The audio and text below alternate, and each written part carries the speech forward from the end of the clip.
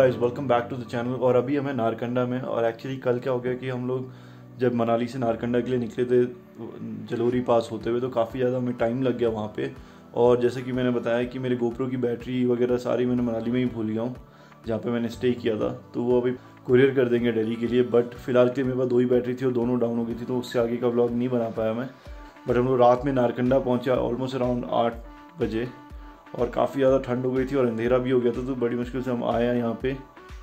और इसलिए हमने डिसाइड किया कि आज ज़रा जल्दी निकलेंगे और अभी बज गई सुबह के साथ और अभी हम निकलने वाले हैं यहाँ से दिल्ली के लिए। और बाहर का व्यू काफ़ी अच्छा है, ठंड भी काफ़ी अच्छी तो यहाँ से प्लान है कि शिमला जाएँगे। शिमला से होते हुए अम्बाला दिल्ली, कालका होते हुए दिल्ली जाएँगे सीधा। तो आज की जर्नी काफ़ी लंबी होने वाली है सो स्टे ट्यून गाइस और रास्ते में काफ़ी ज़्यादा अमेजिंग व्यूज़ होंगे। सो इन्जॉय कीजिए वीडियो और अगर अच्छी लगे तो लाइक कीजिए और नए हो चैनल पर तो सब्सक्राइब करो। I see you guys on the motor blog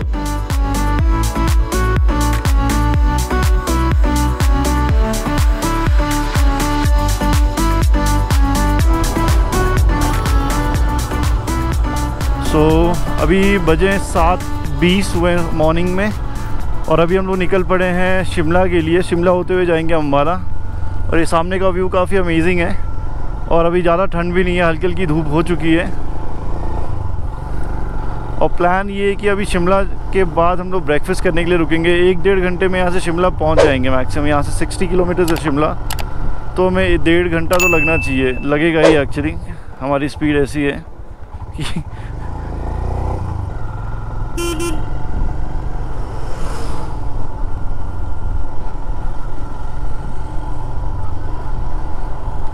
और ये जो नारकंदा का एरिया काफ़ी फ़ेमस है स्की के लिए तो अगर कभी भी आप विंटर्स में यहाँ पे आ पाते हो अगर तो स्की के लिए काफ़ी अच्छा है यहाँ पे स्लोप है।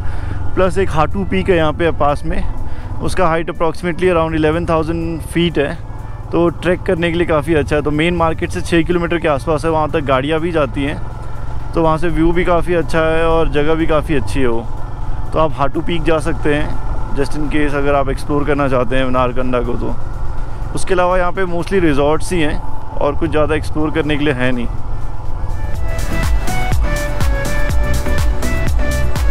और यहाँ खाना खाने के लिए भी ज़्यादा कुछ आपको मिलेगा नहीं मतलब रेस्टोरेंट्स वगैरह है नहीं ज़्यादा बट एक जो मेन मार्केट में एक रेस्टोरेंट है, वहाँ पे कल हमने वहाँ से खाना लिया था, काफ़ी अमेजिंग और अच्छा था खाना उस प्राइस रेंज में और क्वांटिटी वगैरह, हर चीज़ काफ़ी अच्छी थी उनकी। तो खाना वहाँ से आप खा सकते हैं, लेके अगर आप आते हैं नारकंडा फ्यूचर में तो। अभी फ़िलहाल चलते हैं शिमला की ओर। कल रात में जब हम यहाँ आए थे तो काफ़ी ज़्यादा ठंड हो गई थी और अंधेरा भी काफ़ी था और रोड पे यहाँ पे लाइट्स वगैरह नहीं है तो काफ़ी थोड़ा सा डिफ़िकल्ट हो रहा था चलाना गाई बाइक को बट समाव हम लोग पहुँच गए आठ बजे के आसपास। तो दो तीन घंटे हमने अंधेरे में ही राइड किया और जल्दी हो गई थी यहाँ पर अंधेरा जल्दी हो जा रहा है आजकल वैसे भी विंटर के कारण।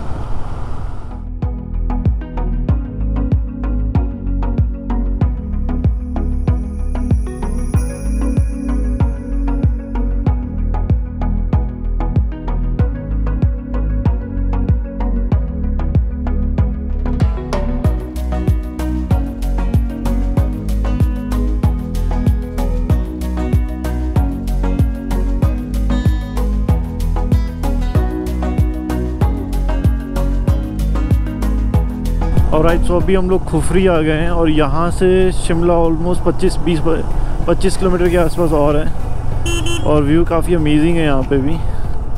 एक तो पहाड़ों में हर जगह व्यू अमेजिंग ही होता है।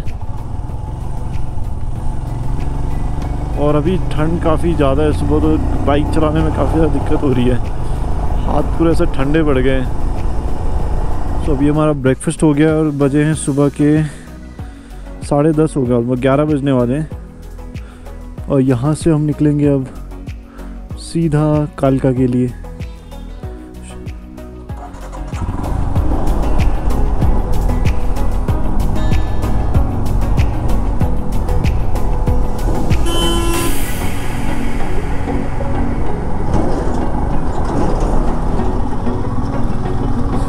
तो अभी सोलन क्रॉस कर चुके हैं हम लोग और दिन के अभी बारह बजने वाले हैं अभी। और साढ़े ग्यारह हो चुके हैं।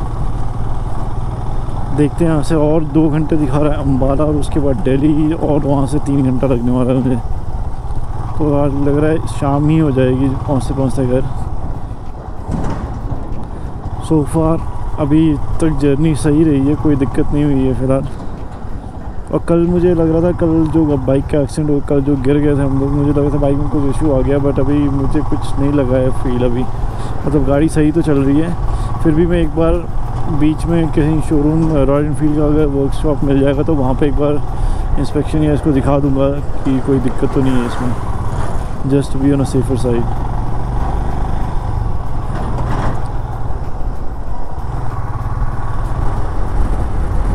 so finally हम लोग एंटर कर चुके हैं पंचकुला और आगे ट्रैफ़िक से क्या दिख रहा है है?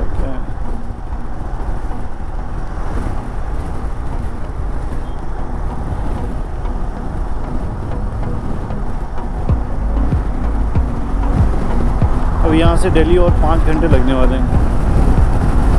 और अब ये एक अच्छी चीज़ है कि रोड सीधे सीधे होंगे कर्व नहीं है ज़्यादा, कुछ नहीं होगा तो हाईवे है स्ट्रेट हाईवे यहाँ से दिल्ली तक। तो कोई ज़्यादा टाइम नहीं लगने वाला। और कितना? 260 किलोमीटर दिखा रहा है अभी तो। लेट्स सी कितना टाइम लगता है। वैसे छः बजे तक दिखा रहा है बट मुझे नहीं लगता मैं छः आठ बजे से पहले पहुँच पाऊँगा।